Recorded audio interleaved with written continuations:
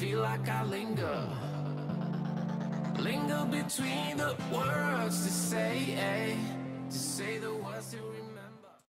Sad news about the Kaku versus Kaneda video. Uh, due to an error in my video editing software, I've lost the footage. I've been working to get it back while readjusting to re the return to college in these weird times. But I also recognize that I can't spend forever trying to get back this footage, so while I'm waiting with some, um, you know, feedback hopefully coming my way on how to move forward with the recovery of this footage, I've decided to drop some videos, yes, plural, and I thought, what would be a better replacement for Kaku versus Kaneda than Gao Lang versus Ao Li? So. So as awesome and thrilling as this is, for those of you that have knowledge of both series, you absolutely know where this is going, but disregarding strength and speed, this match is actually pretty interesting. I'll start with Gao Lang and his awesomeness.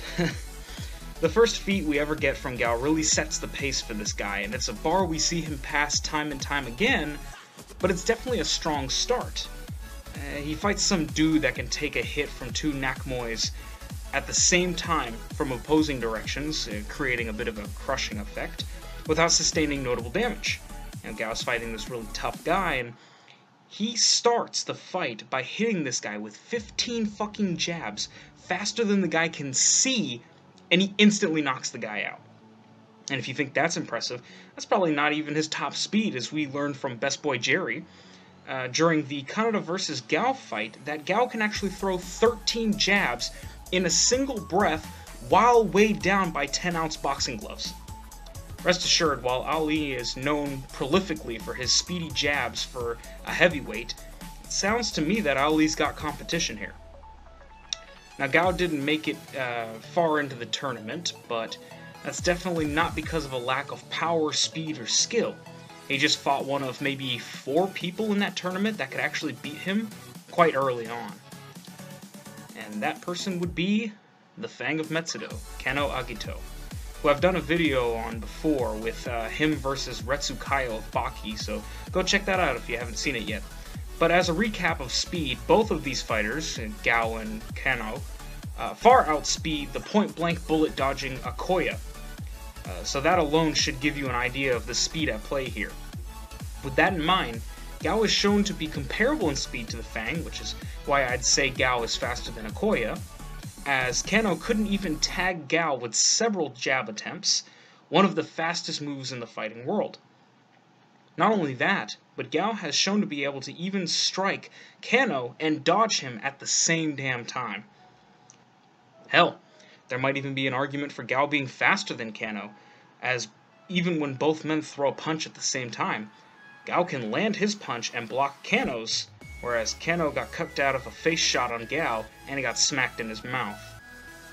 Now, Ali is considered to be quite the fast and skilled boxer, taking down heavy hitters like Frazier and Foreman with speed, precision, and timing, on top of his heavyweight strength. But Gao just might be too much for him in the skill department. The man can stop his punch mid-blow and change directions, something that could prove to be very important against Ali's signature sway back and jab style of no-guard boxing. Furthermore, he doesn't have the weaknesses that most combat sportsmen have. He actually thinks of the battlefield in terms of being 3D, not just 2D. After avoiding a sweep kick by jumping it, he not only thinks to jump it as opposed to sidestepping it or blocking him, chancing a further assault in a bad position or sustaining minor damage, but he continues his own assault to avoid allowing Kaneda to use his mid-air position by punching Kaneda while he's in mid-air. Also, a minor note, as this isn't something I, would expect to see from either fighter due to their styles, but Gao has shown to be able to counter throws, something not at all present in boxing and barely if at all present in Muay Thai, as well as escaping from a lock by throwing a punch in an unstable position. That said, we return to some more practical example of his skill, at least in terms of applying them here, with his Fang fight. Sure, the punch from an unstable position was impressive, but that was just to break from a lock, so it can't be that useful here, right? Wrong. That sense of balance and control of his center of gravity also finds use in defense and counter even in a disadvantageous position, as he was able to shoulder block a punch from the Fang and counter immediately despite being off balance the whole time. Oh, you think you're safe if you don't fight him? Wrong again, bitch. The man can counter you before you even make an attack. He also dabbles in grappling himself, at least to the extent you'd expect from a boxer with their hugs and such, as he employs this boxer hug technique on the Fang to intercept a kick, ending the hug with an uppercut. While the Fang successfully managed to block the uppercut, what started as an assault on Gao ended up with the Fang himself being pushed back.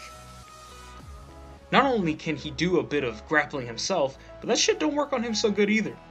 Fang tries to flex some of the tricks he picked up from Okubo in uh, with a takedown, and gets a knee to the fucking skull as a congratulations. Gao's assault is so overwhelming and his defense is so impregnable, Kano literally has no other option other than to face the world's greatest boxer in a boxing match due to the risk of anything but boxing being countered essentially depriving Kano of one of his most important traits, his variety. Now Kano has to combat the pinnacle of all strikers, a boxing and Muay Thai master, on his home field. We see that Kano makes another attempt at grappling the striker, but Gao uses a, a teep kick to keep the fight in his court. He's very good about maintaining the fight in a striker, you know, area of expertise. So, you know, let's say he was fighting somebody who did a lot of takedowns and grappling and submission, maybe someone like uh, Imai Cosmo, uh, if you'll remember from Kengan, uh, that probably wouldn't go too well because he's very good about keeping the fight in a striking area. And it seems like Kano's striking ability isn't faring much better, as even when he lands his punch, he still misses and gets smashed in the face. Yeah, Gao gets hit in the face by the Fang, but lets the punch slide across his face to avoid the damage and bops Kano's mouth at the same time. He's truly a monster in the best possible way. And let's not kid ourselves here. Strength has just as much to do with a fight as speed and skill, and in that department, Gao just ain't lacking. With one punch, dude was able to crater Kaneda's head into the ground. That's not all though. In terms of strength, the man really gets to flex his strength against Kano in round 2. Fang and Gao clashing causes shockwaves that can physically affect the referee, forcing him to GTFO. But make no mistake, Fang is buckling in the knees just after two hits, so it's not exactly an even clash by any sense of the word. Fang tries to go on the defensive after this, you know, probably to recover. Uh, but Gao just slips his defense with a decent shot and blasts Fang's ass into next week with a combo of jabs and other punches, and finishes with a blow to the stomach that almost sends Kano to sleep faster than a NyQuil. Now, of course, we won't see much of that uh, defense slipping against Ali, seeing as Ali doesn't really put up his guard. It's part of his whole style, the no-guard style of boxing. That said, when he's greatly outmatched, as we saw against him fighting Yujiro, he does tend to put up his guard, but that could just be because Yujiro has this fear aura about him. He's so much more overwhelmingly powerful than, you know, Ali. We'll, talk about strength and speed and everything, but essentially, we're turning the wheel back to Gao's strength, well, we also see Gao is able to stop all of uh, Kano's Fang shenanigans he's up to with just his power alone as well. He stops Kano's uh, sweep kick with his fucking skull, a la Sapang. You know, call back to his good buddy there. Uh, that said, boxing isn't the only area we see Gao's strength shine through.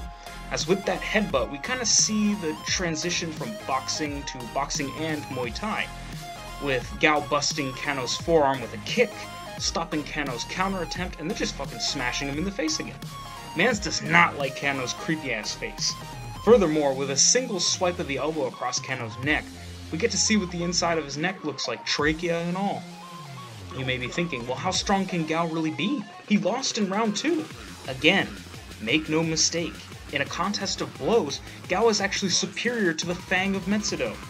He is undoubtedly the strongest boxer and Muay Thai fighter in Kengan, and just from the sheer strength of his punches, even the Fang was under constant pressure of breaking down. If you need proof of Gao's ability to take a hit and truck on, just read and watch the Gao versus Fang fight. But to sum it up here, as far as endurance goes, even with a direct face shot taken, he still has the wherewithal to dodge the next shot and return fire. He soldiers on, no matter what. Unfortunately, Gao does end up losing to the Fang, but that's not the end of his journey, Mm-hmm. as we later see him rack up even more speed feats with a greedy fervor. He is able to avoid the sword slashes from Long Ming and Ming's ranged weapon. Despite Ming being the leader of the invaders of the Kengan Annihilation Tournament, and likely being more skilled, faster, and stronger than a large majority of the Kengan Tournament participants, and with weapons to boot. But enough about Gao, this isn't his character profile or overview, this is a fight! So allow me to introduce his opponent, the greatest boxer to ever live, Muhammad Phantom Fist Ali. Now this may come as a surprise to hear, but Gao pretty much blows Ali out of the water in just about every way. Now I will say this, Ali's jab is actually faster than Gao's. Shocking, I know. But according to Respiratory Rates uh, Wikipedia, a single breath takes 5 seconds in total. 2 seconds to inhale and 3 seconds to exhale. And that's pretty much an average. So with 10 ounce boxing gloves, Gao can belt off 13 jabs in 5 seconds. That said, with these same 10 ounce gloves, Ali was stated to be able to punch 17 times in 2 seconds, the punch only being 0.11 seconds from start of motion to impact, which is faster than a brain can even send a signal to a muscle to move. Even if we're generous and say the single breath was only referring to 2 second inhales, it's still 13 shots in 2 seconds to 17 shots in 2 seconds. That said, that's where Ali's wins pretty much end, as Gao is faster in terms of overall combat, with Ali only comparing to a casual young Yujiro, who may have only been supersonic to hypersonic at the time, with Gao being well into hypersonic for sure. In terms of strength, Ali's best showings land him only at the low tier top mark, or the lower half of the mid tiers in Baki, only scaling to people like uh, Iron Michael due to Ali being said to be the strongest boxer in the world, he would scale above Iron Michael, who can apparently hit as hard as a speeding car. Uh, he also was able to completely destroy Prime Igari in a fight, to the point that Igari spent 90% of the match just laying down and trying to wrestle Ali. And Prime Igari was a match for Mount Toba, who, if you guys have watched the first season of Baki, was actually a pretty difficult fight for 15 year old Baki.